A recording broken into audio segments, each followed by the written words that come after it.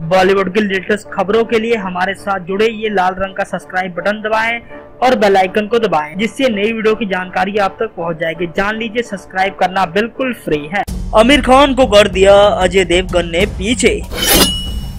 जी हाँ box office के सबसे बड़े सुपरस्टार आमिर खान, जहाँ हाल ही में फ़िल्म दंगल ने 2000 करोड़ का बॉक्स ऑफ़िस कलेक्शन किया, लेकिन हाल ही में दिवाली में रिलीज़ हुई super duper hit film Secret Superstar जिसका बजट 50 करोड़ रहा। उसने अभी तक तीन दिन में 22 करोड़ का बॉक्स ऑफ़िस कलेक्शन किया। वहीं पर देखते ही देखते अजय देवगन की super duper hit film Golmaal Again Rohit Shetty के डायरेक्शन में बनी फ़िल्म ने धमाल मचा दिया। तीन दिन में सौ करोड़ से ऊपर का बॉक्स ऑफ़िस कलेक्शन किया।